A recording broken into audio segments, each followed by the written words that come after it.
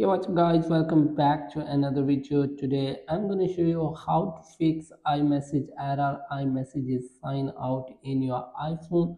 So let's get started without wasting any time. First of all we try again and as you can see when I open the message box in my phone it always appears on screen iMessages sign out. So let me show you guys how can you fix this problem. First of all go back to the setting app and open the setting and now scroll down. And as you can see here is the iMessage and FaceTime. So tap on iMessage. So here you have to sign in with the profile icon. As you can see here I'm signing in with my Apple ID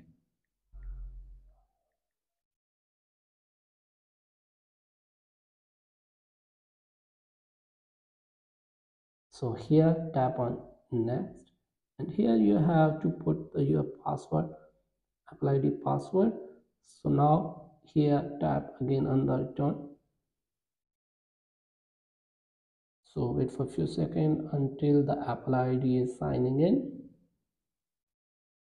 So it's verifying. It's verifying my apple id so as you can see my apple id has been signed in and here is the iMessage and send and receive. So now you can open as you can see error has been removed from here.